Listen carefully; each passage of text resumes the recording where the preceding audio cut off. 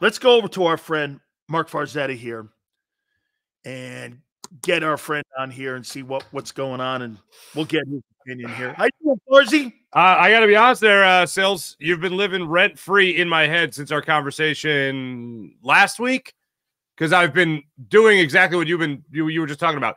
The whole three four transition. It's like we have it in our head that the Eagles have already been running Vic Fangio's system, where in fact they've been running their version of Vic Fangio's system but they've still been util- utilizing more than anything the base 4 3. So now with Fletcher Cox retiring, our conversation last week, going back to Fletcher Cox, moving to the middle, or excuse me, to the outside there in that 3 4 with Chip Kelly and Billy Davis. I um I I just have grown. I've only gotten more concerned about the Eagles defense really since the end of the season. And I know that shouldn't be the case. They've added some good pieces, but this is a pretty big transition, and they're missing one of their big guns in Fletcher Cox now. So that is that's obviously a concern. Here's where I think.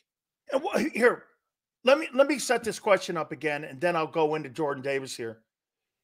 Between Nolan Smith and Jordan Davis, who gets a second contract, or do neither?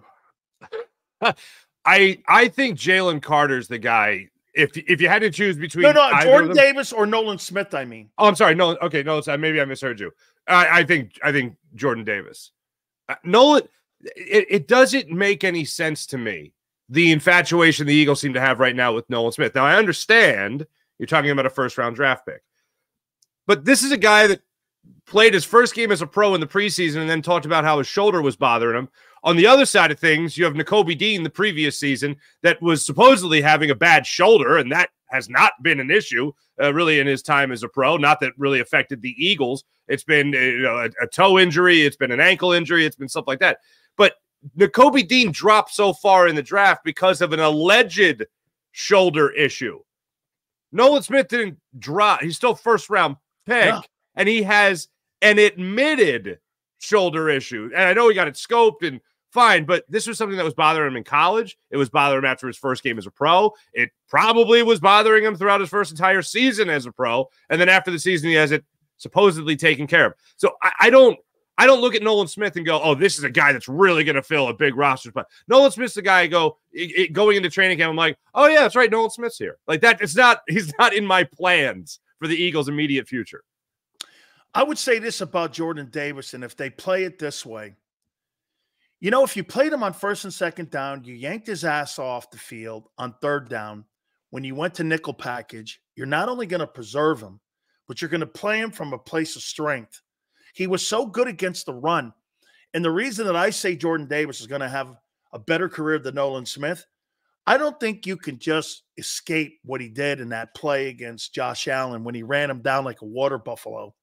And he's running at 350 pounds. No, I, I just had Steve Tasker on. Steve Tasker goes that, you know, Josh Allen stiff armed Aaron Donald to the ground. Nobody does that to that guy. And this guy brought that guy down like he was hunting like like he was hunting antelope. I mean, it was you. I can't excuse, but to me, that means this. Then, okay, well, let me play him from a place of strength. Pull him out. Get another defensive uh, pass rusher in there in the defensive tackle. You got Milton Williams in there. Go to a forefront. You just hired a guy for $18 million in that Bryce Huff. Go Huff, Sweat, Carter, and Williams. There's your front four passing right there on fourth on third down, where most 70% of the time, anyway, you're going to be a nickel and you're going to preserve the kid. So to me, I say this to you, and it's a long way around this, but I think they've played him out of position the last two years. Could be. Uh, again, I got to see him 100% uh, when it comes to either of these two characters, where it comes to uh, a guy like Jordan Davis or it comes to a guy like Nolan Smith. I have to see Jordan Davis play a full season at a very high level. I, I that's that's something I haven't seen yet. When it comes to Nolan Smith, I need to see him go out there and make sure that his shoulder is at 100% before I start dreaming up. Like it almost sounds like uh, almost like a NASCAR package in some instances that you would use back in the day when they termed it the NASCAR package. That's something that obviously I think would get a lot of interest from Philadelphia Eagles fans. They would absolutely love that to see that kind of aggression. But I think in one case, it's going to be about health. The other case, it's going to be about conditioning. And one of the reasons to get back to your previous question about Jordan Davis, one of the reasons I'm confident in him is I think that unfortunately he's the kind of guy that has to play himself into shape. And I don't mean to say that because usually when you say that, oh, he's lazy. I don't think that's the case. I think the Eagles having this, uh, you know, this OTA as early as they have, at earliest they've had it really, I think, in the Sirianni era. By the way, it's an added one. It, yeah, exactly. It's they've never, yeah, yeah, exactly. And not having it last year, not having it the previous year, isn't is it was I think it was an awful thing just to get the guys' feet wet because when you're getting their feet wet now, that means you can just jump right into the pool when real OTA start up. When when after the draft, rookie camps over and guys are coming and and and learning their new coordinators and just getting their feet wet now and then jumping into the pool later on in the process. And I think that's only going to help Jordan Davis, especially when you're talking about the conditioning aspect of this, because I think the guy has all the talent in the world. It's a matter of having that conditioning and that stamina so that when week 15, 16, 17, and 18 are rolling around, you're still full bore. I'm going to ask you a question here, and I, I, I here here. In the three years that Jalen Hurts has played quarterback for the Eagles, we, we, would you agree with me that one has been exceptional? Extremely exceptional, yeah. One. Would you agree? yes, I would absolutely. I think we're frozen here a little bit. Oh, you got to be kidding me. Hopefully, we get him back. Oh. Hopefully, we get Marc Farzetta back here. Oh, Jesus. Uh, I think he's frozen here a little bit. As far as he's good on my end. Well, he's frozen here. Let's see if we can get him hooked up here again. And and again, where I'm going to go here with him is the expectations. Okay? And the expectations Hey, hey, hey, let's let's bring in Mark here and see if he's good. No, Mark, I think that's me on my end. Was that you? I'll t- all right, fine. I'll take no um, responsibility whatsoever. Or am I shaking? Mark, again? you there? I'm I'm here. Damn it. Okay. okay. Jeez. So let me let me throw this at you here. Okay. Would you agree that that Jalen Hurts has had one really spectacular year? Absolutely. He's had one good, spectacular year. Everything else has been good, but MVP caliber, where he's only losing the MVP award to Patrick Mahomes, he's had one year like that. And even, I don't know if we've talked about this before, but going into that San Francisco game, you have him, Jalen Hurts, as the favorite to win the MVP going into the 49ers game of this past season. I, I didn't I didn't see that from Jalen Hurts. I know he had just, you know, scampered in for an 11 yard touchdown run in overtime against the Bills to help win that game for the Eagles, but I had not seen that MVP version of Jalen Hurts all year long. So I know that was in the conversation. I know he was the odds on favorite. I didn't see that. The guy I saw two years ago is the guy that I hope you see the vast majority of throughout the vast majority of Jalen Hurts' career. So there is still a lot to work on. Now, you go well, back to Brian Johnson, and now you're bringing a new offensive coordinator. Still so we'll see how that goes. How about this, Mark? If everything is equal, now that we found out that the first game of the year is against the Packers, if you were to start your football team between Jordan Love or Jalen Hurts, who would you pick? I'm picking Jalen Hurts without a doubt. I, look, I really like Jordan Love. He's had one good year. He's had one good year as well. But the, the difference that I have here with Jalen Hurts is that I know Jalen Hurts has it between the years. I, I not to say that Jordan Love doesn't. I don't know if he's as battle tested as Jalen Hurts has been since being here in Philadelphia. Coming into the whole Carson Wentz fiasco, I mean, at least you knew you were playing behind a Hall of Famer I mean, in Aaron Rodgers out there in Green Bay. You weren't doing that necessarily here in Philly. I, I would ride with Jalen Hurts. And I know that's a conversation, and J- Jordan Love had an incredible year to thrust himself into a comparison like this, and I get it. But if I'm riding with one from starting my football team today for the foreseeable future, I'm going with Jalen Hurts over Jordan Love. I would never. And here's why I don't think he'll ever be the passer that Jordan Love is. Mm. In one season, just like Jalen had with one season, he dwarfs anything he ever did. I mean, this guy has two 1,000 yard receivers. He can't throw for over 3,900 yards or 25 touchdowns. And I'm expecting him to be a, a guy who's going to win from the pocket and I'll throw this at you too, Mark. You name me a guy who's had 15 rushing touchdowns that has won a Super Bowl in the last 30 years. Yeah, obviously. Season. Mm-hmm. There isn't one. Mm-hmm. So those stats are kind of like Kirk Cousins stats to me. You win Super Bowls from the pocket and you pick your moments rushing. to me, now look, I'll, I'll, I'll compromise with you on this. If you go back to 22 and you want to develop Jalen Hurts 22, I think you got a good shot in the next five years of getting back to two. But if you want to expand on the 23 Hurts, he was common last year. And I don't expect that thing to be some sort of leap and bounds because of Kellen Moore. You know, it's funny about the Kellen Moore hire. Everyone hates Dak Prescott. But Dak Prescott's OC for five years was Kellen Moore. I mean, how is that magically all of a sudden going to translate into Jalen Hurts being a better quarterback than what he is when you look at Dak's success, two postseason wins? I'm not getting this. Mm. They're getting further away from 22. Uh, well, here's where I would argue in in favor of Jalen Hurts and getting a little bit closer to where you were in 22. You had Shane Steichen, and I, I, don't buy too much into the you need two years in a system to, to really know it. If you're good, you're good. Uh, one of the things one of the things Fletcher Cox said was, you know, good players just find a way, or great players find a way. He talked about a conversation he had with DeMeco Ryans one year when they were switching over to a different scheme. DeMeco Ryan said, Hey, great players just find a way. You're going to move into this 3 4 scheme instead of the 4 3. Then, well, guess what? If you're a great player, you're going to find a way to help your team win football games. I think Jalen Hurts will find a way to help his team win football games. But I think that the coaching last year was atrocious. And I think that the coaching for the Green Bay Packers was incredible.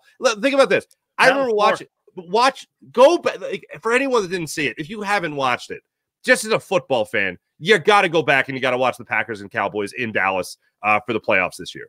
Destroyed that them. was it. That it, it was it. He put him in. He put the Cowboys in a blender. Is put what he did. Asleep. He lulled him to sleep with the run.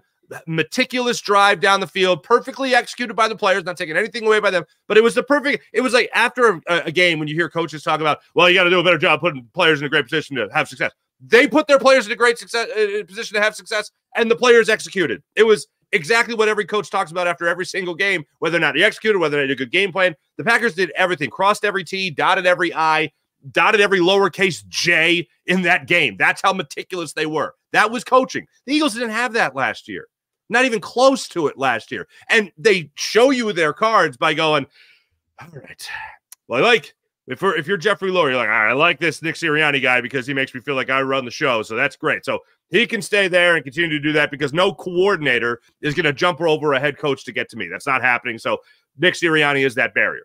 They bring in Kellen Moore, obviously experienced. I think when it comes to Jalen Hurts, I think he has it between the years more than Dak Prescott has it between the years. So I have more hope for him of having success in the Kellen Moore scheme. And as I have told you before, if if you're someone that really doubts Jalen Hurts, this is going to be potentially your favorite year ever yeah. for you to pat yourself on the back because there is no excuse. There are no excuses for Jalen Hurts. You have an offensive coordinator now who has plenty of experience, has had a number one offense. He's worked with multiple quarterbacks in his career, and now he's coming here to Philadelphia to take over an offense, as you mentioned, 2,000 yard receivers. You're bringing in, in my opinion, one of the best, if not the best, pure running back in the entire NFL in Saquon Barkley, top three at worst and there, there's there's zero, zero excuse. Oh, well, we got to do this. We got to do that. No, no, no. You have the players.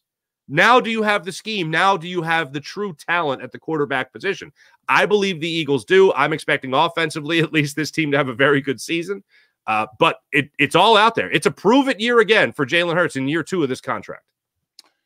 I know you got to run. I got two questions here for you. Final two questions. Um,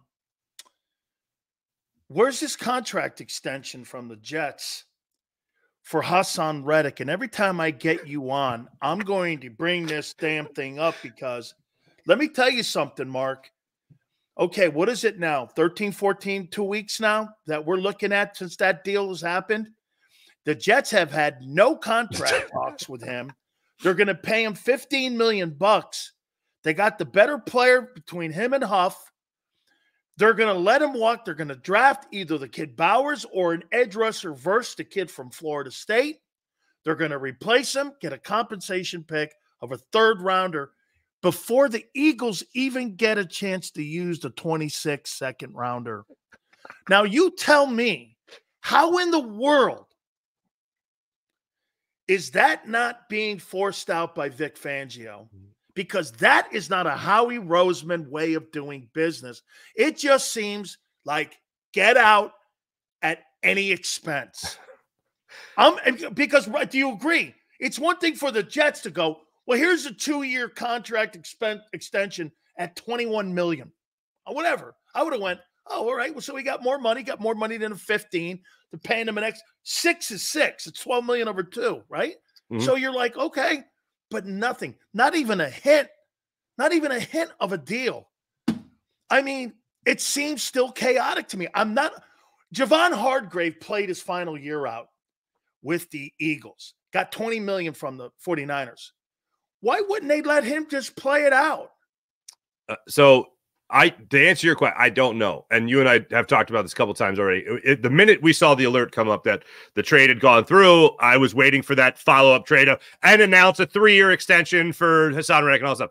And it never came. And I'm still waiting. We're both still waiting. This doesn't make any sense. So if he's going to play on 15 million up there, why not just play on 15 million here in Philadelphia when you have the money? It's not like the Eagles are scraping, scraping by here with salary cap space. They got plenty of it. So it doesn't make any sense. Um, the the two things. One, I think you're dead on. I think this is a Fangio thing more than anything because the only yeah. other thing, the only other thing, as I said, you've been living rent free in my head here, friend.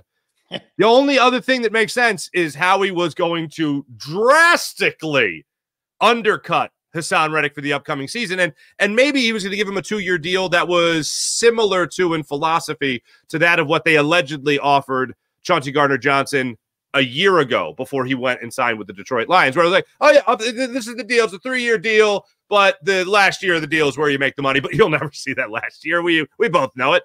So, what I think, I'm on the same page as you. This was more of a Fangio decision. Anything, I'm, I'm just not going to use this guy like you would use him in the past. So, this isn't the Fangio style scheme. This is the Fangio scheme. I don't have room for him here. I'm not going to be able to use him. The only other thing that makes sense is the idea of Howie Roseman just saying, sure, go seek a trade because this is our restructure. You don't like our restructure, then go find that trade. I find it very weird, though. Two things, once again, that he didn't resign anything different with the Jets to this point, and that any type of offer from the Eagles to Son Reddick that would have been undercutting the 14 and a half million that he was due for this season hasn't come out. It, where's that? So the only thing that makes sense is there was no room for him at the Fangio Inn. Finally, here, DeVonta Smith, there's conversation that they're working on an extension. Well, Mark, for me, if I'm his people, first and foremost, I got a couple questions on signing a contract extension. Now, the Eagles have the leverage on the fifth year option, but on the extension, DeVonta has the leverage because he could just say no and force them into that May 2nd fifth year option. You're not going to let him walk in to a final year of his contract and let him get nothing in compensation at the end of the season so he could force their hand on that option. Well, Mark, check this out. So why would I do this? Who's going to be the head coach if Nick Sirianni fails? Is he going to be the head coach here? Wait a minute. What if Jalen has a bad season? Do I want him throwing footballs to me? What are you going to do with AJ? Are you really going to keep two $20 million guys? And why would I sign a contract right now when CeeDee Lamb and Justin Jefferson haven't set the market. And people go, well, it's Philly. And it, you know how he wants to get ahead of deal. Hang on yeah. here. If Jefferson signs a $30 million deal, and if uh, CeeDee signs a $28 million deal, and say that DeVonta signs a $22 million deal, you're talking about 8 million bucks over the next three years. That's $25 million you're going, hey, you know what? I want to be an Eagle. That ain't worth me wanting to be an Eagle at $25 million just to go, I'm going to burn that in a trash can. I think this is the fifth year option. If you're DeVonta, you don't sign an extension here, or do you? For whatever reason, this to, to what you alluded to earlier, the Eagles have a way. Howie Roseman, Joe Banner, even they have that carrot they dangle out in front of their players. I remember it's a, bag of money up front. It's exactly. And I mean, you could go back to a much lesser talent, but still the same scenario. A guy like Reggie Brown back in the day with the Eagles, where they dangled that carrot out front. It's like, oh, hey, I'll sign it. Now, DeVonta Smith is obviously far better and superior in talent to a guy like Reggie Brown. However, it's a similar scenario in that he's going to get that bag of cash offered in front of him. Now, it's a question of how big you want that bag of cash to be, of course. And if you don't have anything to compare it to with other guys around the league, then I don't think you're signing that deal. DeVonta Smith could be one of the first players to go, you know what? I am going to bet on myself. I am. Yeah. from from a skill position, I am going to bet on myself in, for this year and just go forward. And I understand that you guys want to make sure that you have your interior, excuse me, your offensive lineman locked up. I, I know you got a guy like AJ Brown who's. don't you want to see money. the environment if it's yeah. calmer? Yeah, and if if you're look the the only thing in football that I think really gets at these guys, and you know it far better than I do, is it just takes one play.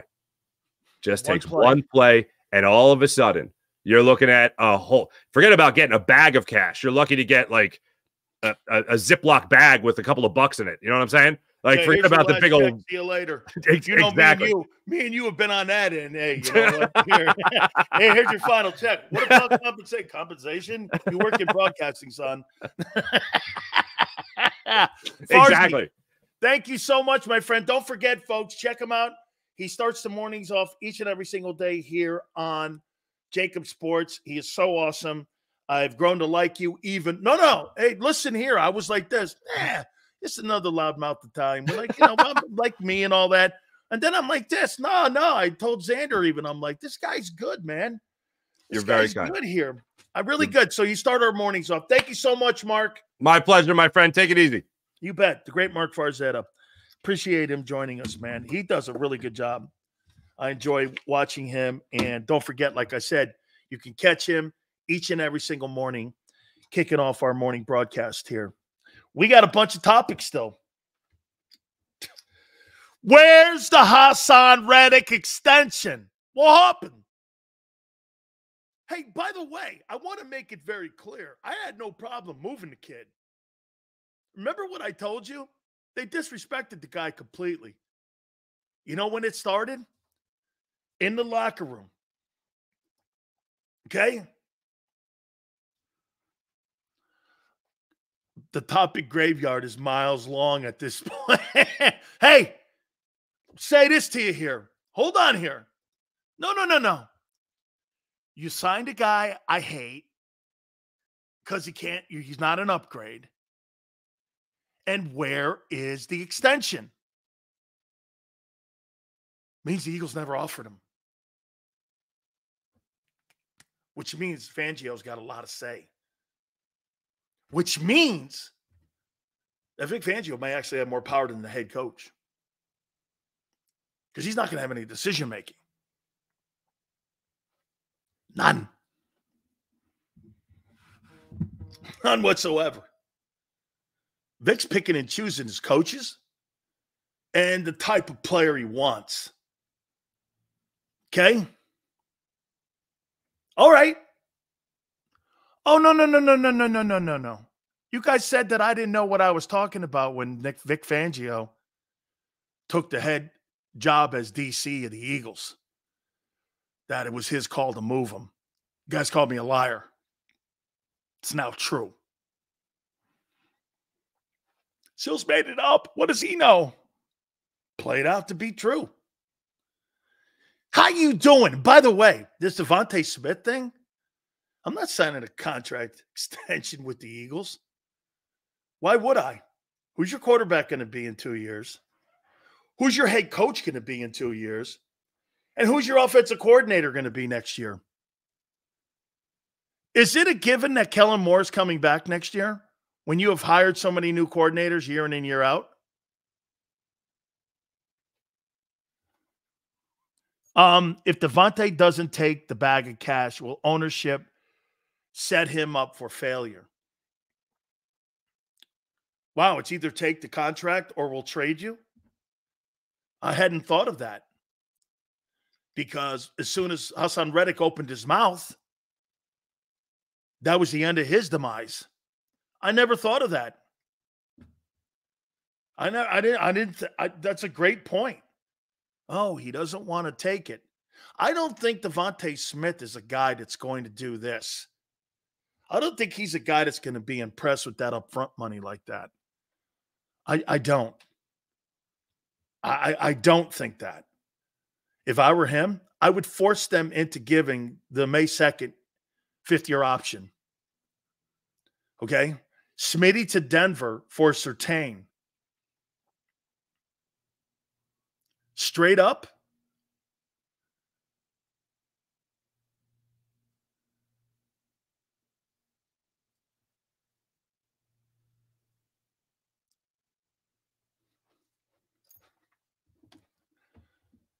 DeVonta Smith. And they just signed Patrick Surtain on a fifth year option. You signed a May 2nd fifth year option. You send him to Denver for Patrick Surtain. Would you do it?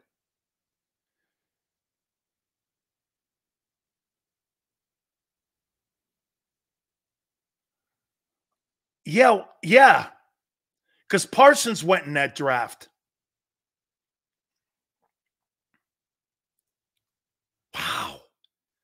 Patrick Surtain for DeVonta Smith. Would you do it? And then draft a wide receiver at 22.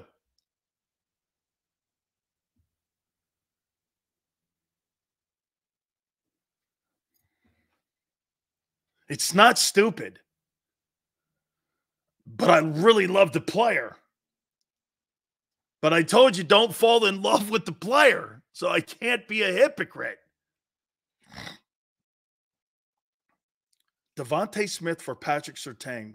One guy's 25 years old. He's at a more coveted position, corner. He's one of the best lockdown corners in the game.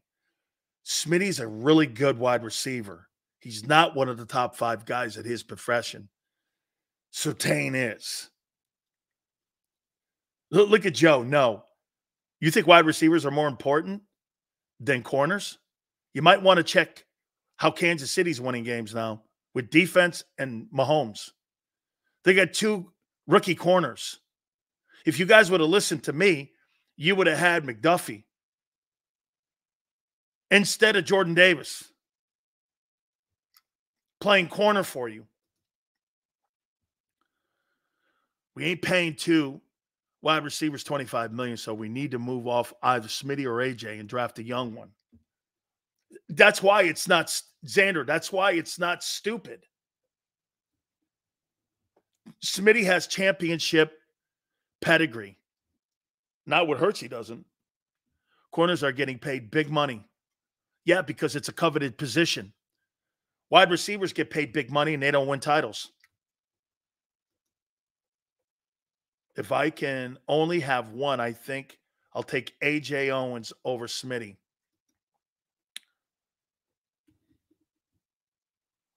Smitty's kind of like Tee Higgins to you and Jaylen Waddle, right? To Tyreek Hill. He's kind of like that, right? He's kind of like those guys, right? Yeah.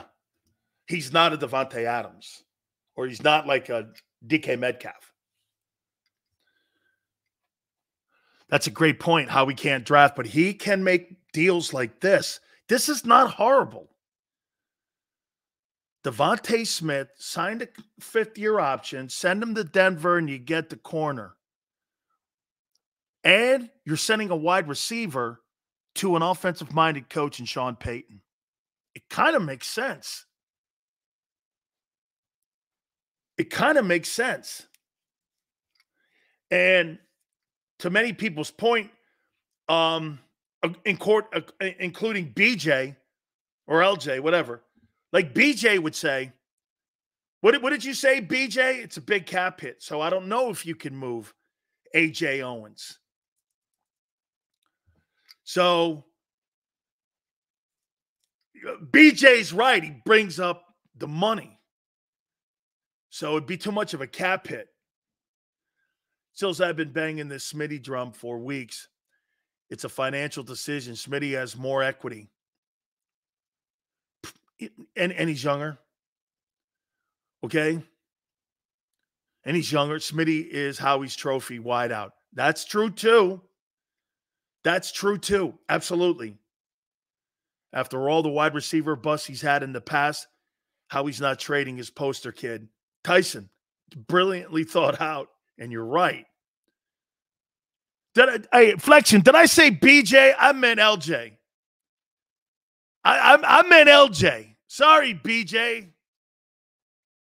I, I meant I meant LJ, man. I didn't mean BJ. yeah, LJ's got a new nickname. It's BJ. uh, yeah, Sills respects LJ so much he calls him BJ. Yeah, that's probably true. If you get a nickname from me. AJ's too young to move. AJ AJ is young too. He is young. He's not that old. He's he's not that old. Come on, BJ. You know if you get a nickname from Big Cells, you know you actually have an identity.